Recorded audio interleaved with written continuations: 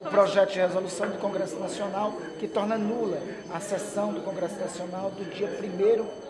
madrugada, do dia 1 para 2 de abril de 1964, que declarou vaga a presidência da República quando o presidente João Belchior Marques Goulart estava em território nacional. Esse projeto de resolução nós já obtivemos as assinaturas necessárias no Senado Federal e obtivemos as assinaturas necessárias é, na Câmara dos Deputados. E amanhã de manhã pretendo reunir os líderes partidários da Câmara e do Senado e levá-lo até o presidente do Congresso Nacional, senador Renan Calheiros,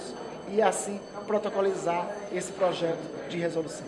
E aí, apreciado pelas comissões de Constituição e Justiça, convoca-se o Congresso Nacional e nós, se Deus assim permitir, tiraremos essa mancha do histórico, da, do, bre, do breviário, enfim, essa mancha